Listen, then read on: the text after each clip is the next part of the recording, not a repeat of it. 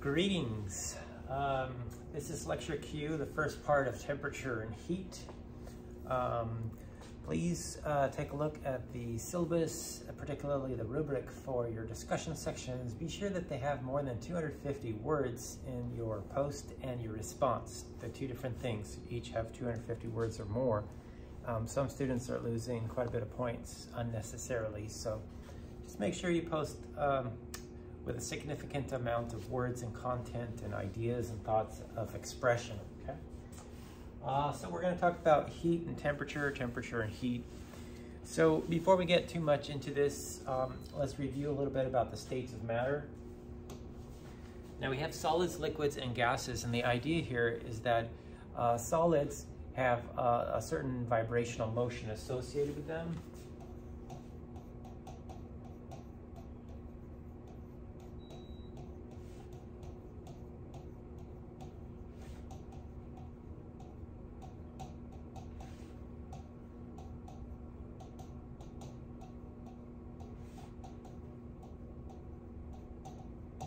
And remember that the degrees of freedom for a solid are quite limited. There's no flow or, or movement macroscopically of molecules over another, and a solid is fixed. If we have a cube sitting on the counter, it stays a cube. Now these molecules or atoms within the substance are just vibrating, but they're stuck in space. Uh, I wrote jiggle here, and you might even think about a piece of jello. So that's kind of your model for a solid. It, they just, the, the molecules or atoms within the substance uh, vibrate, and they don't move or flow like liquid water does.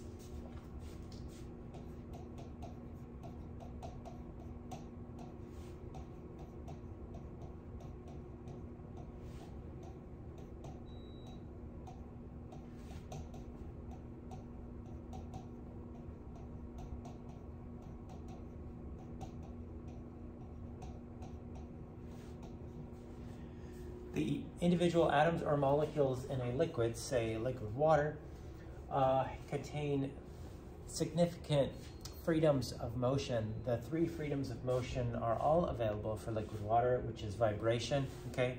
Individual water molecules can be vibrating, okay? Uh, they can rotate. Think about my pencil here that's rotating. It's not moving, it's not vibrating, it's rotating, okay? So individual water molecules can rotate in many different um, orientations and they can also translate, okay? Translation is just move, okay? But technically these are all movements, okay? So translation is specifically when you move from one set of Cartesian coordinates to the other set of Cartesian coordinates without spinning or vibrating in, in the process, okay? So translation is just this type of movement. Rotation is this type of movement. And I can't vibrate this pencil but uh, vibration would be, you know, the jiggle movement, okay? So all of these uh, are happening in a gas as well, okay? Now we know we can uh, heat up solids to melt them to make them into liquids, and we can heat up liquids more to uh, evaporate them or vaporize them to produce gases, okay?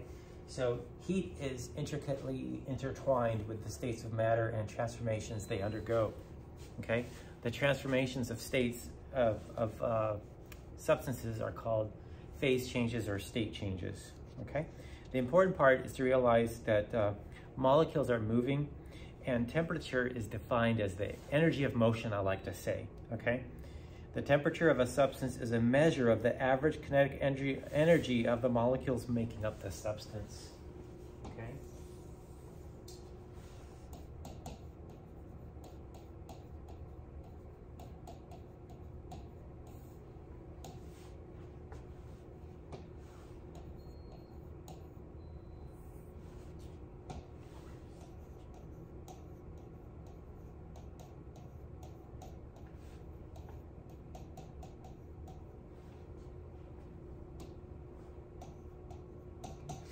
So uh, that's kind of my Cliff Note explanation of it. Temperature is the energy of motion. Um, it's a measurement of the average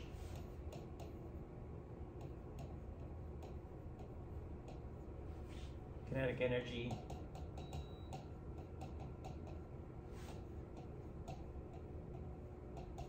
of the whole sample, okay? It's kind of an indirect measure, okay? Now, the thing I want to emphasize here is that if something's hotter, things are moving faster, okay?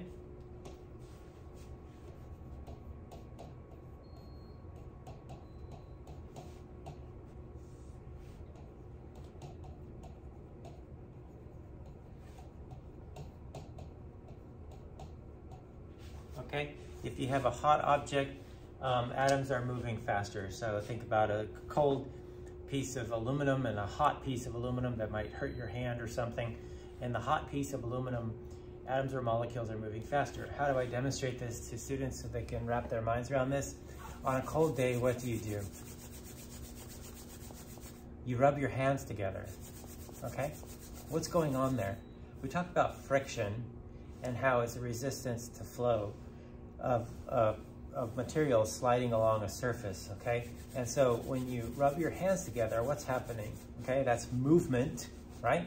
That's movement, and you're transferring that energy of motion into the energy of motion of molecules. Now my hands feel warmer.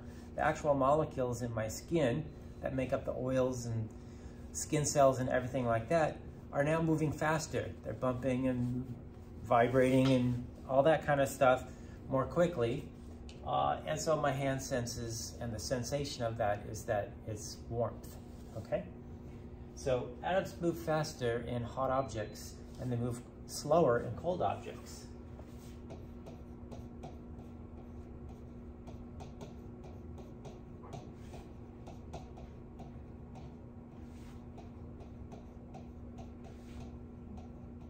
So once again, Temperature is energy of motion. This can be demonstrated with uh, your hands, okay? So uh, let's now talk about uh, temperature a little bit. Temperature is a number, right? Like in this room, it might be 50 degrees Fahrenheit, or it might be, uh, you know, 18 degrees Celsius or something like that. And that's a relative measure of the hotness or coldness of an object.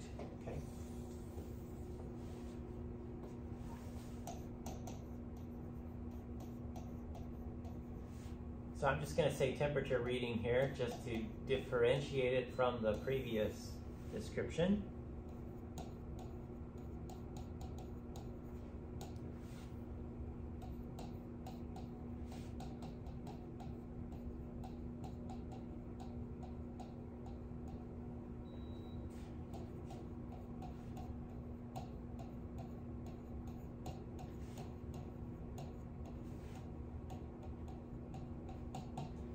The nurse's object, you might get your uh, temperature taken. That's how hot or cold your body is, right? To try to figure out if you have a fever, for example. Um, if you measure the temperature of the air in out outside your house, that might be for uh, determining the weather, okay? How hot or cold the weather is at that at that moment, okay? The atmosphere. So this is, this is what we're talking about here. We're not talking about individual molecules in a sample. We're talking about more of a macroscopic object, okay? So when people uh, talk about this, um, they talk about the relative hotness or coldness of things like, wow, it's hot, wow, it's cold. Um, well, do you, do you, have a number for that? Okay, you need a temperature reading for you to be more exact, right? So we talked about scientific science, how it involves scientific measurements, and the, how that uh, forms data, and it can go into different calculations or conclusions, okay? Um, now we have these things called uh, thermometers to measure temperatures, okay?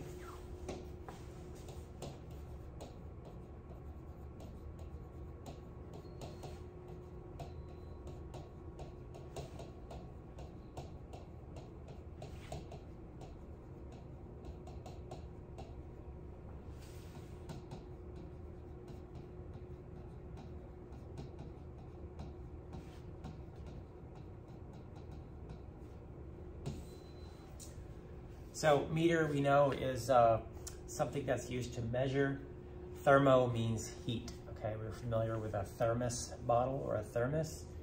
Uh, so a thermometer is basically a heat meter or something that reads the amount of heat in a substance. And that's not technically um, accurate. Okay, so this, this, the meaning of that word is not really correct. It doesn't measure heat, it measures temperature. There's a tremendous and very important distinction or difference between heat and temperature. Here, we're just measuring temperature, okay? So really that should be temp meter or something, okay? So thermometers measure temperature, okay? That's the important uh, thing here, okay? Now we have many different types of uh, devices that are uh, devised to measure uh, temperature. Okay, and we have different scales, all right? Let me show you uh, what the earliest thermometers looked like. Um, the earliest thermometers were made of uh, glass and they contained mercury. So this shiny metallic substance is liquid metal. It's called liquid mercury. And inside of this thermometer is a very thin capillary or a very thin tube. If I turn it sideways, uh, you can't see it because of the reflection of the glass, but um, you can kind of see it. Uh, there's a small um, shiny metal object that goes up to here or so on the thermometer, and that's a, you, you can't even, you can't even see it on the video. Um, now, the way this works is that when this is placed into a warm object, the metallic uh, liquid mercury expands a little bit and so it flows up this tube, okay? And so it can go up high here. And if you put this into a cold object, uh, liquid mercury will contract and it will shrink and so the mercury will flow down the tube. So when, when they have that expression, the mercury is rising, that means that it's getting hotter because the mercury is heating up, it's expanding, it's being pushed up this small capillary tube and it's rising, okay? Uh, mercury is a toxic substance. If I were to break this thermometer, I'd have to carefully clean up the mercury and dispose of it as hazardous waste. So they've come up with uh, alcohol-filled thermometers. Now there's a red dye in here. Normal alcohol doesn't doesn't look like this with the with a little red color here, but it's it's a kind of like think about red food coloring. Okay, so there's red food coloring in here. And this operates on the same principle. When this is placed in uh, hot water, for example, the uh, alcohol in here will expand and we'll push up this uh, capillary tube.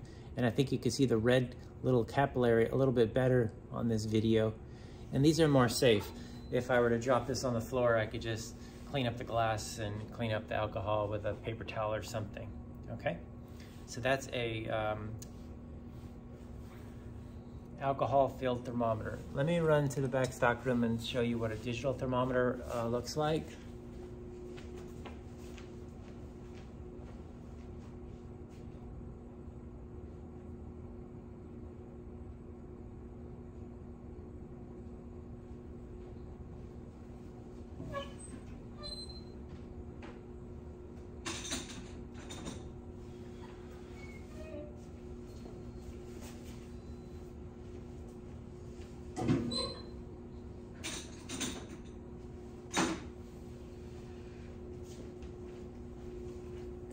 Um, this is a digital thermometer, and of course it has some functions over here like on, off, hold, min, max, and uh, Fahrenheit or Celsius. And there's a small blue wire that goes into this stainless steel tube here. And I'll take this out so you can see what it looks like. Uh, on the very tip here, we have a uh, thermistor. and it's uh, it's, it's very hard to see. I, I don't even think you can see it on the camera, okay? But there's two wires here. I'm not sure if you can even see the two wires in the video. Yeah, you can't see it, so I'll spread them apart a little bit. There's the two wires, and at the tip is a thermistor. It's, it's, it's sealed with a plastic covering, and there's other stuff down there on the tip and wire, rubber wire, but basically it's a thermistor. Now we've talked about resistors before in the previous section, and a thermistor is something that varies its resistance based on temperature, okay? So if you put it into an object that's hot or you put it in an object that's cold, it's gonna have different resistance. And um, this is basically a fancy uh, meter that measures resistance. And there's a calculation in there to convert that to temperature, either Fahrenheit or Celsius. Okay, so a digital thermometer is more convenient for the um, you know, nursing office or other engineering applications, particularly for measuring extremely high or extremely uh, low temperatures where things will freeze. For example, mercury will freeze eventually or alcohol will freeze. And so if you want to measure a very low temperature, you can use something digital. And if you need to measure something very high in temperature, there are limits because mercury will eventually, even mercury will boil, okay? Or evaporate or, or um, the glass will melt, for example, in a uh, thermometer. So I can put this into a flame and measure the temperature. And in theory, it shouldn't damage a carefully designed thermometer, okay? So that is a digital thermometer. So a couple different types, okay? Mercury, alcohol, and digital. And they each have their um, limitations and applications. As we discussed, mercury is toxic, okay? Alcohol is okay, but alcohol has a pretty low uh, boiling point, so you gotta watch out for that. And we have a digital thermometer. Digital thermometers are useful um, because they can be placed into uh, very high temperatures or very low temperatures, for example, okay? There are two temperature scales I want to talk about.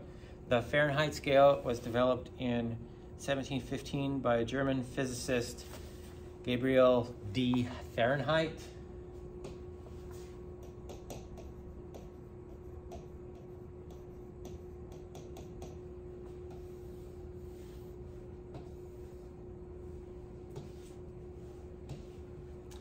And um, the Fahrenheit uh, scale is based off of uh, water, basically.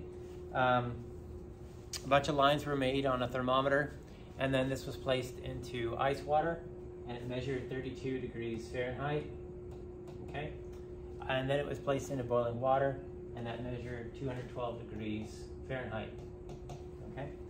There are 180 different markings between these two. 180 uh, markings or degrees, okay? So these are degrees or spacings.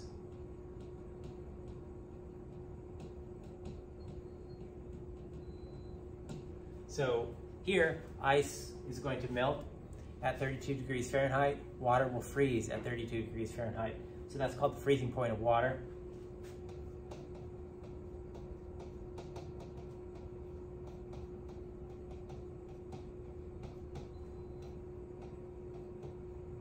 When something freezes, it changes from a liquid to a solid.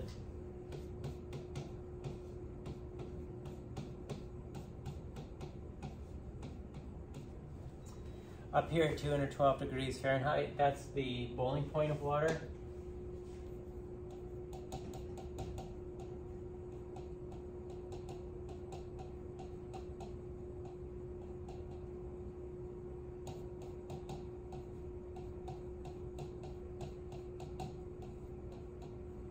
So if you're making uh, spaghetti noodles and there's a rolling boil there on your water and you're exactly one atmosphere pressure and there's no salt or anything, it's just absolutely pure clean water, it will be at 212 degrees Fahrenheit. So liquid water changes to steam or gaseous water at the boiling point. Okay, so liquid changes to a gas. All right, it eventually just goes away, right? So that's the Fahrenheit scale and that was, uh, you don't need to memorize it, but it was invented by somebody with the last name Fahrenheit, and it was in 1715. So that was, uh, um, you know, clo pretty close to 300 years ago. The invention of the thermometer opened up a lot of scientific advancements, um, and it was many, many different laboratory experiments involved measuring temperature. Okay. That's the English system that's used. So if you set your thermostat at home to uh, 68 Fahrenheit or 70 Fahrenheit, or in the summer, maybe turn on the air conditioning to 72 or something like that, that's all degrees Fahrenheit, okay? Degrees Fahrenheit is, is indicated with a little uh, circle and then an F, okay? The little circle on the upper left-hand corner is pronounced degrees and the capital, capital F is pronounced Fahrenheit.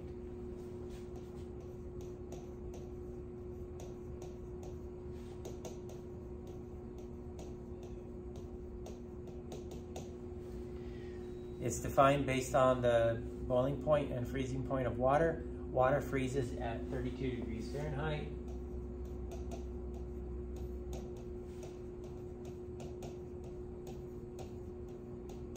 Water boils at 212 degrees Fahrenheit, okay? So if somebody were to walk outside and say, whew, it's freezing out here, and you had a thermometer and you looked at it and it said 34 degrees Fahrenheit, you could technically say, no, it's not freezing.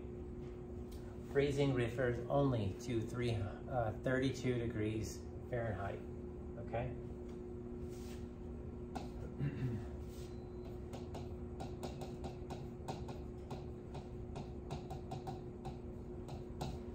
Now, another question nurses and doctors like to answer, or worried parents, is if a kid has a fever or a patient has a fever, okay? And this is done also with a thermometer. Now, some people naturally just have a higher body temperature and, you know, maybe 99 degrees, and some people naturally might just have a lower body temperature, like, you know, 97 even degrees, okay?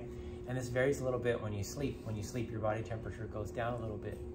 So when somebody checks your fever, they usually um, want to see how high the fever is. You know, if you have four degrees above body temperature, then that's a problem, okay?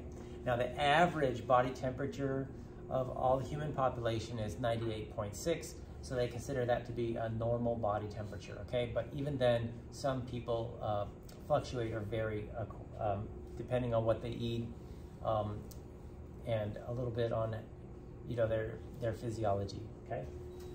So body temperature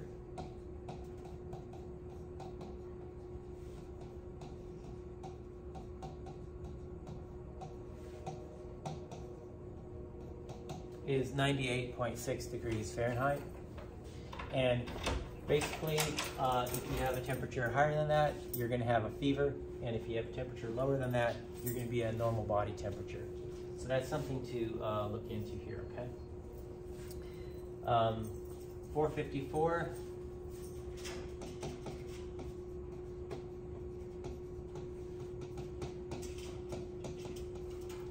You know the book uh, Fahrenheit 454, this is the temperature at which uh, paper will actually burn. So um, if you put a piece of paper in, the, in your oven at home at maybe 375, that won't burst into flame. But if you get it up high enough, again, it's gonna depend on the type of paper. But if you're above 454, like say 475 or 500, um, that paper can actually burst into flame. And if you read the book, you, you know what happens in the book. They burn a lot of books. So that's where that number comes from. That's the, um, the temperature at which paper will actually burn. But again, the Fahrenheit scale is just based on uh, the freezing point and the boiling point. Do you need to get in or? Okay, yeah, go ahead. All right, next thing I want to talk about is uh, Celsius scale. Celsius scale is what we use in the science lab. And if you look at this thermometer, might be hard to see on the video here. Um, there's a little C there. Uh, I don't think you can see it. Um, this one as well has a little C at the very top of the thermometer. And I believe you can just barely see it in the video there. That capital C means Celsius. On the digital thermometers, if I turn this on, um, the default here is degrees Celsius. So that little C where my pencil is pointing to is Celsius, okay? Now the Celsius uh, temperature scale was invented by Anders C. Celsius, a Swedish astronomer in about 1735, okay? So Celsius temperature scale was invented by somebody with last name Celsius.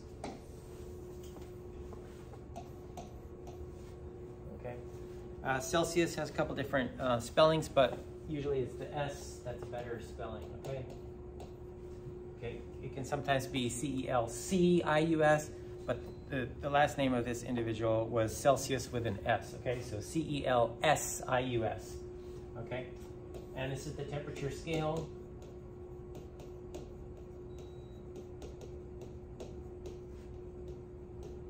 And you can consider this to be a, a metric unit. Technically it's not, but uh, it's what we use in the lab and so on and so forth, okay?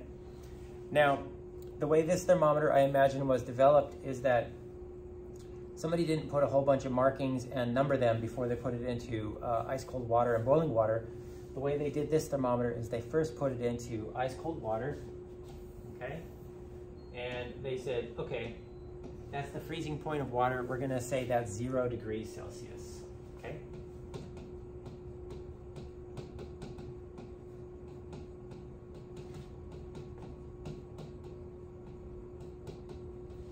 Then they stuck this thermometer into boiling water and very carefully measured the boiling point. And they defined that as 100, okay? So this is freezing point is defined at zero, boiling point is defined as 100 degrees Celsius.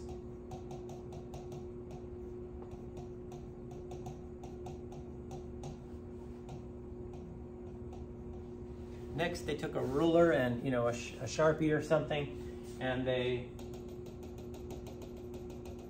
Mr. Celsius made 100, you know, divisions or 100 degrees between those two, okay?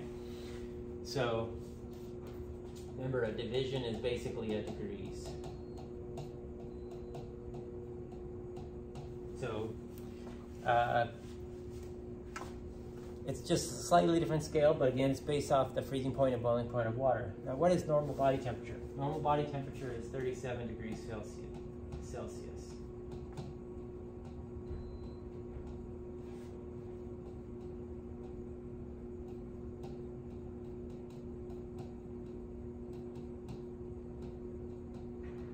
Now it's possible to have temperatures below zero, okay? Um, and there's just lines that go on below that, and then there's markings or degrees above 100, okay? So of course, um, lead, for example, is going to melt at a temperature higher than the boiling point of water, or your metal stainless steel pot is gonna melt at a temperature higher than the boiling point of water. And so, you know, it'd be, you know, maybe 1700 degrees Celsius or something like that.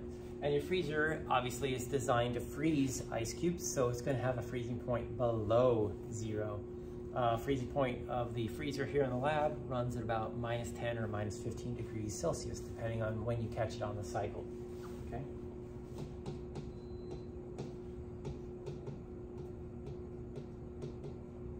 Now you only need a temperature of zero degrees Celsius to freeze water, but because you've got other things in there like juice or meats and stuff, um, the freezer is usually much below that just to make sure that everything remains solid. Okay, so that's the temperature scale uh, that we generally use. Now the Kelvin scale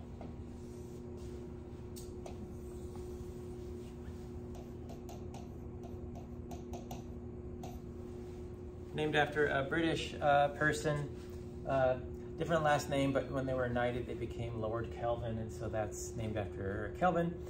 It's based on this idea of absolute zero. Absolute zero is the lowest possible temperature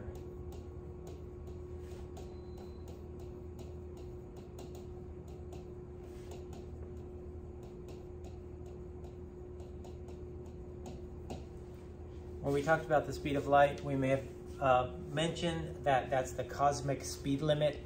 There is nothing that can go faster than the speed of light in a vacuum. Um, this is another uh, very hard speed limit. Uh, in the sciences, we can cool things down to very, very, very low temperatures, and we can try to get below this, but it seems like that's the limit. We can only cool to 0.00001 Kelvin, for example, and that's pretty much as you know, we can check, keep cooling and cooling and cooling, but we can never get to negative uh, Kelvin, okay? So that's what we call absolute zero. Absolute zero is zero Kelvin. I'll spell it out here because it looks weird on the board.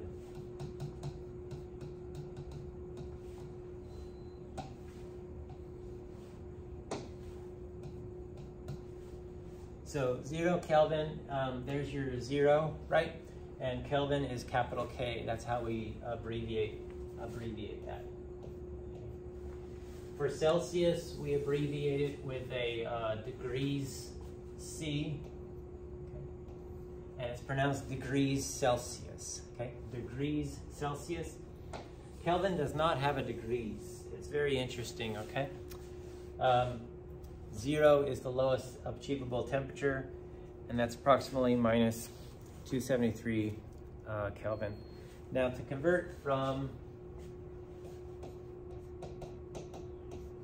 Celsius to Kelvin, you just add 273 to the number there, okay? So let's do that as a practice problem here. Here we've got room temperature at 20.3,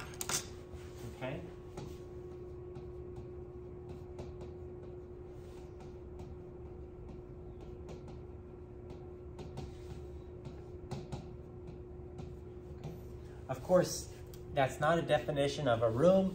It's just this room right now today is 20.3 degrees Celsius. And so you can do this in your head or, or use a calculator if you want. Um, you're gonna add these two numbers up together, okay? And you get 293.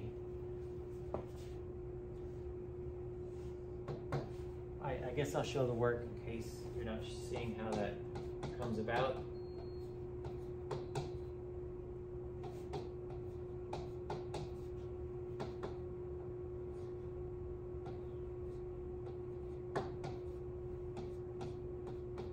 Okay, so mathematically here on the left, this is what we get. T is equal to 293.3 or K is equal to 293.3.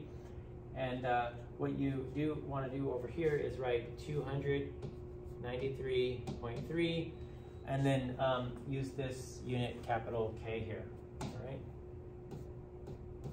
In the sciences, we always put the, the units after a number um, here it looks very awkward to say K equals 293.3, right?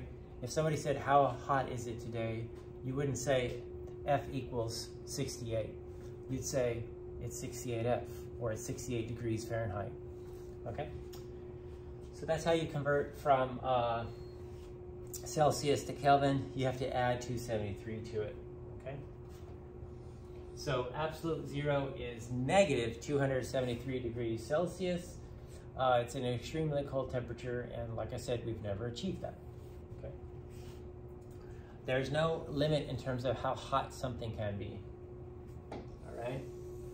So those are the three uh, temperature scales. The Kelvin scale is technically the metric unit for temperature, but in the lab we always measure it in degrees Celsius. Okay, that's just what we do. Um, Fahrenheit is used in the English system, usually with uh, body temperature, you know, uh, fever thermometers and weather, okay? And degrees Celsius is used in the lab all the time to measure temperatures of liquids, solids, whatever we're doing, okay?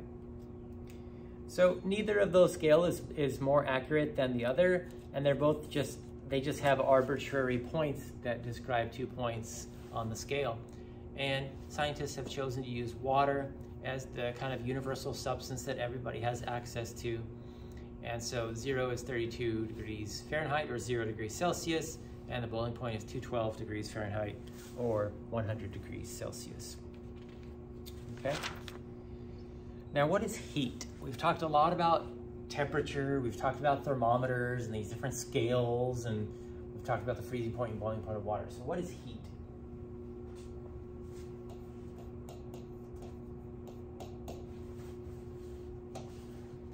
Now heat, um, think about if you had a uh, hot cup of soup or a hot coffee or something like that, and it was too hot, how would you cool that substance?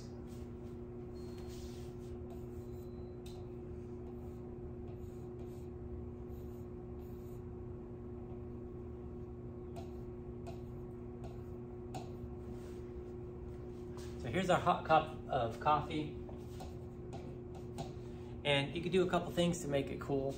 You could uh, just let it sit on the countertop and over time it will cool down or you could blow on it and that causes air to move over the surface and somehow change to a, a cooler cup of coffee, right?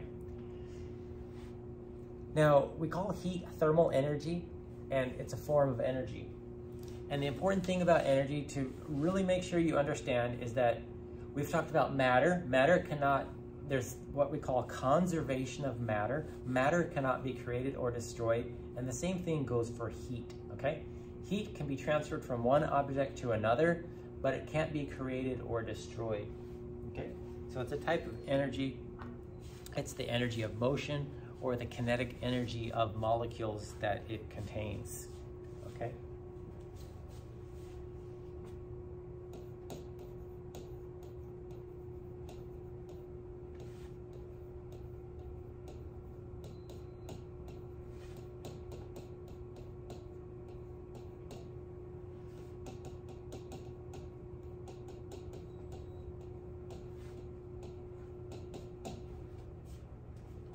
Now, as we'll see, um, heat is going to depend on the uh, quantity of substance as well, okay?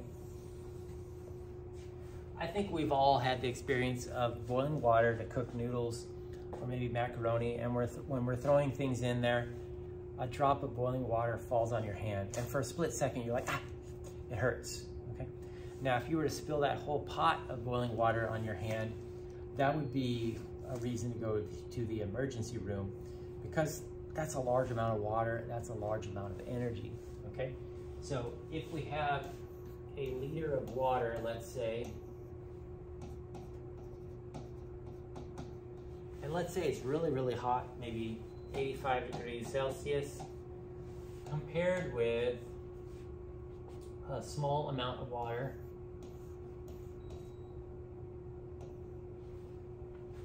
let's say, a quarter liter of water at 85 degrees Celsius. These two have different amounts of thermal energy, okay? They have the same temperature, of course, because individual water molecules are perhaps moving in the same way. They have kinetic energy, they have energy of uh, rotation, translation, and maybe vibration, okay? If you were to look at an individual water molecule. But if you look at the whole sample now, we can see that this is a much larger content, so there's a lot more energy there, okay? So thermal energy is gonna depend on temperature and on amount.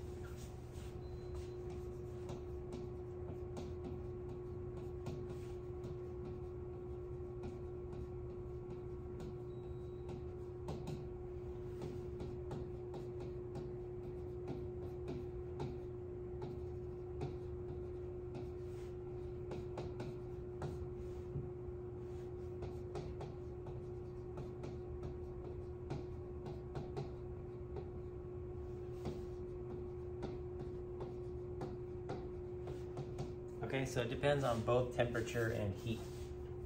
All right, uh, this obviously has uh, greater thermal energy or more heat content in there.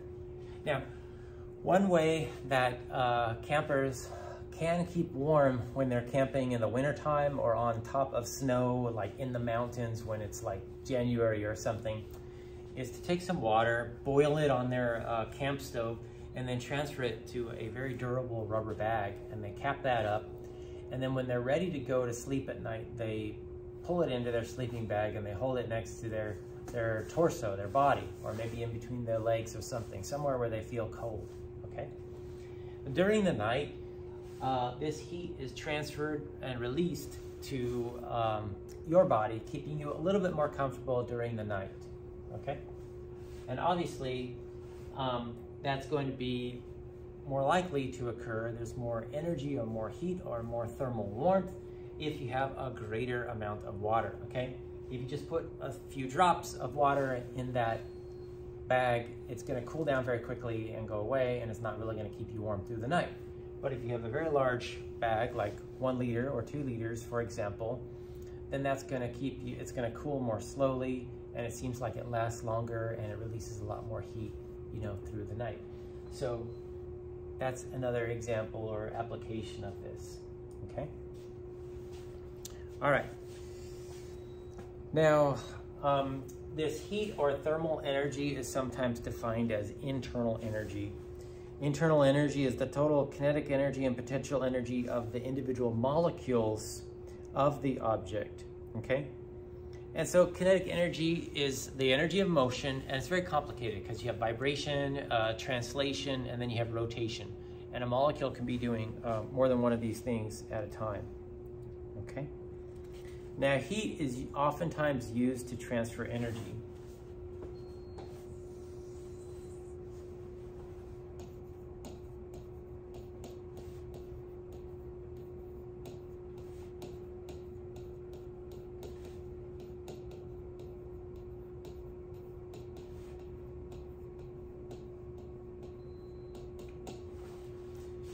Talked previously about transferring biochemical energy in our bodies into uh, heat. We spend the effort to rub our hands together and then um, that gets converted into uh, a warm feeling in our hands. Okay, that's a transfer of energy. Okay, uh, there's many other things that happen here um, when you heat when you heat objects up. Okay. Um,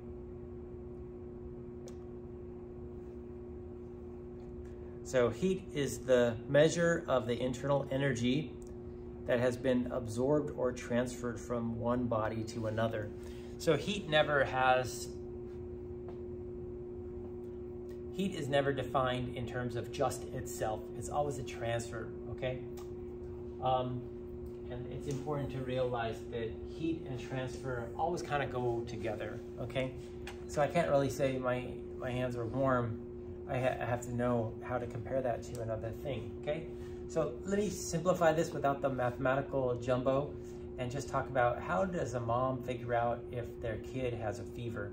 They put their hand on their forehead and then they feel something,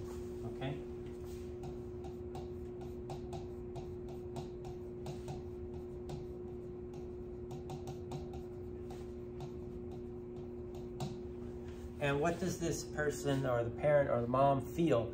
They feel uh, warm or cold, okay? If their hand feels warm, what does that mean? Okay, so here's the hand. Here's the forehead.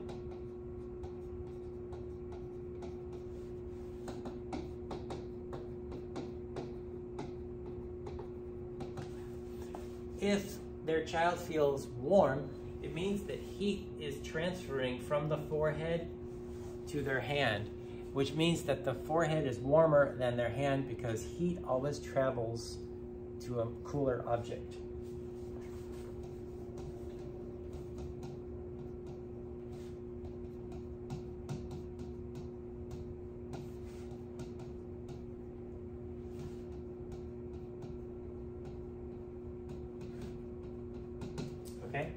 That's very uh, fundamental rule.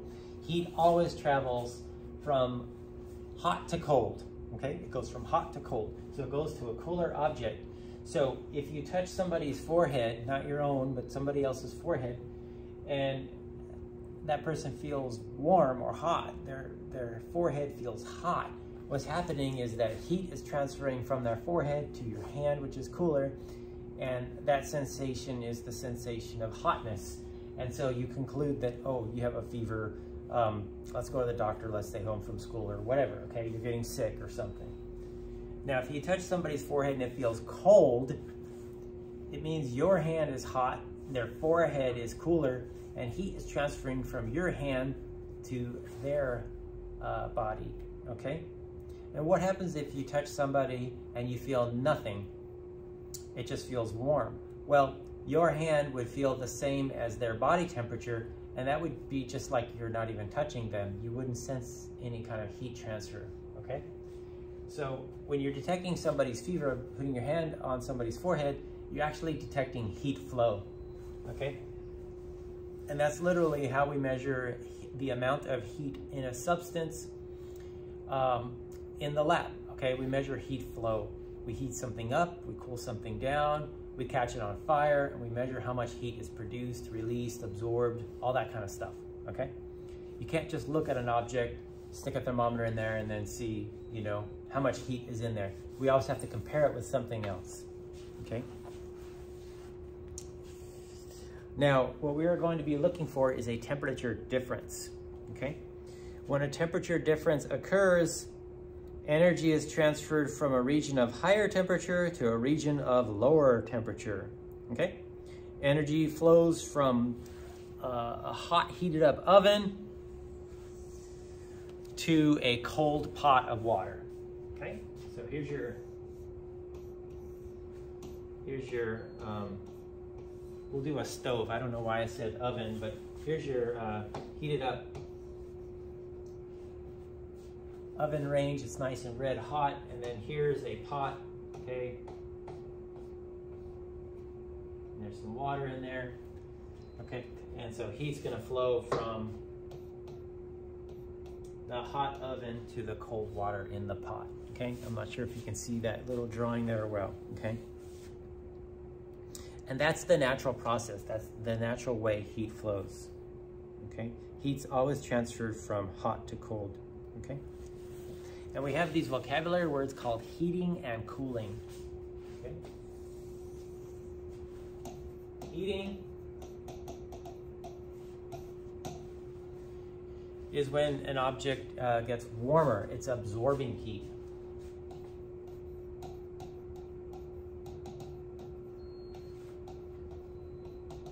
Temperature rises.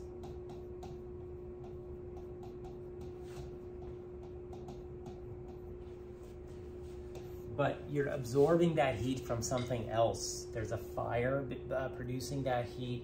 Maybe there's something you plugged into the wall like a blow dryer, hair dryer that's producing that heat. And then we have cooling. Cooling is releasing heat. Temperature drops.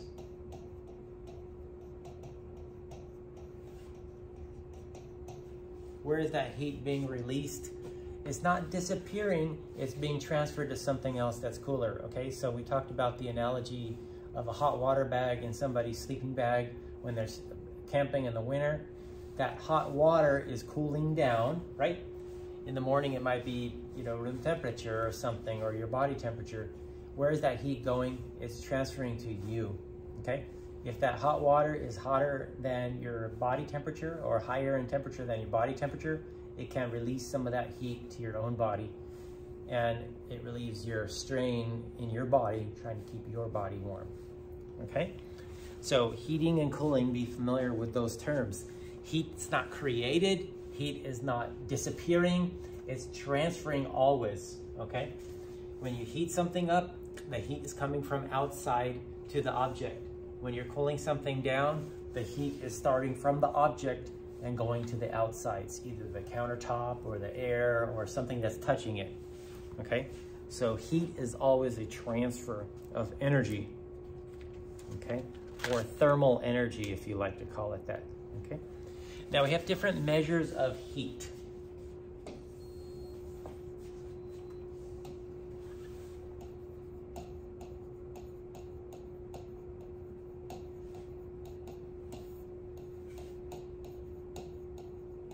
Now, again, we call this thermal energy, so it's going to be the same energy um, units that we've seen before in the class.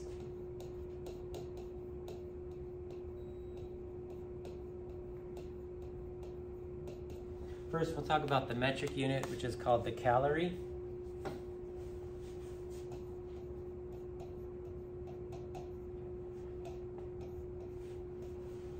Calorie is spelled C-A-L-O-R-I-E or abbreviated small c-a-l. And we're familiar with the food calorie, but actually it's a little bit different than this, and I'll get into this. But a calorie is defined as the amount of energy needed to raise one gram of water exactly one degrees Celsius.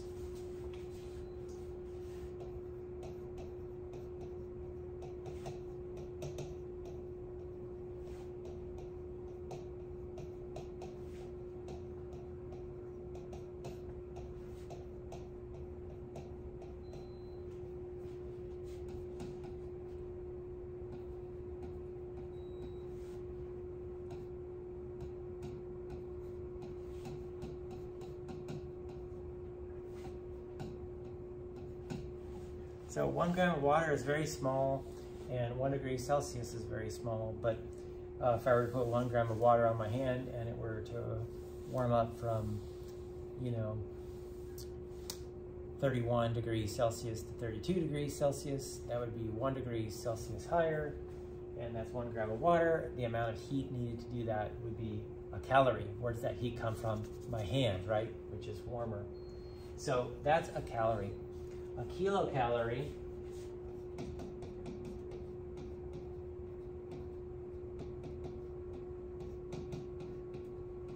is abbreviated kcal, K-C-A-L, okay? And it's the amount of heat needed to increase the temperature of one kilogram of water by one degree Celsius. Okay, K means uh, kilo, right? So instead of uh, one gram, it's gonna be one kilogram, all right? So it's just a thousand calories.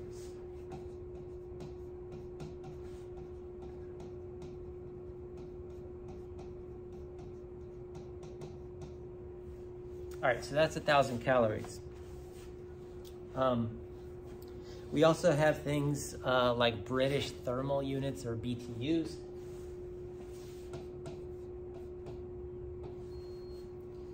Uh, I'm not going to write out what that stands for. It's, that's British thermal unit.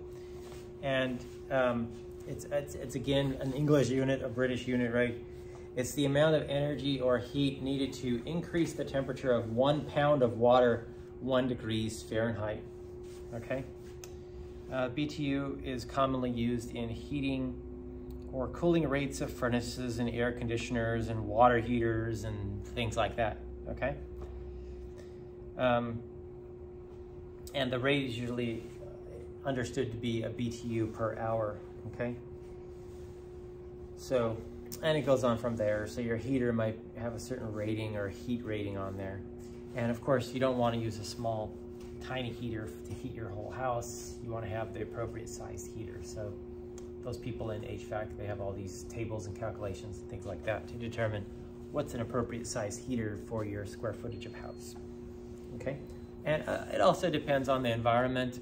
Okay, if you're in um, a temperate zone where it doesn't get super hot or cold during the um, winter and summer, you know, you're not going to need such a powerful heater, but um, we won't get into, into all of that. That's a different class, okay?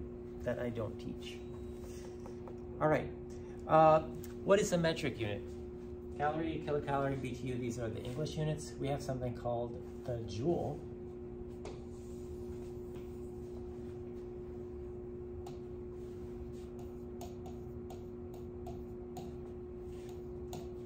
Joule is J-O-U-L-E, capital J and this is the metric unit of energy.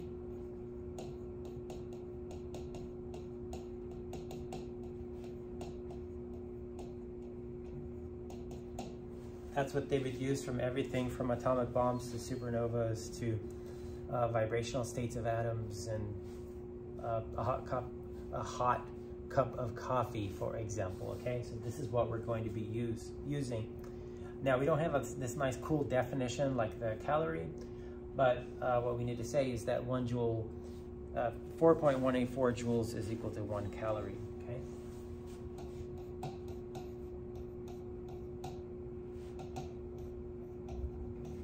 So if I were to tell you I had something with 10 calories, that would be, you know, around 41.84 joules, okay?